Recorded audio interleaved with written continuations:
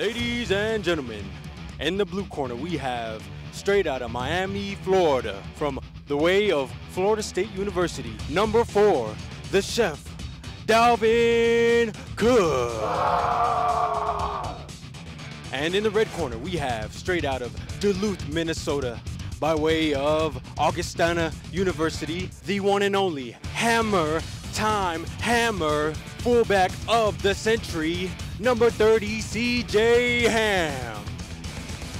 Are you ready to rumble? Fight! Here we go. Dalvin. Dalvin Cook took a uppercut to the chin by CJ Ham, and here we're, we're set for round two. Ding ding ding!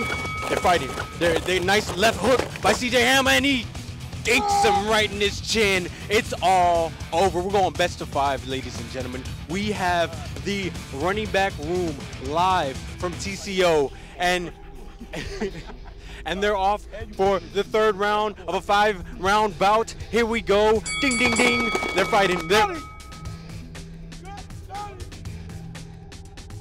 Dalvin Cook with the third round knockdown. It's it's amazing. It's amazing, ladies and gentlemen. We have one more round. Actually, no, we have we have two more rounds and a five round bout, and we're off to the fourth round. Ding ding ding. Okay, they're fighting, and he's uppercutted to the chin. He's uppercutted to the chin. Dalvin Cook with the uppercut. It is two for two. Round five. Here's for all the marbles. Who's gonna take it home?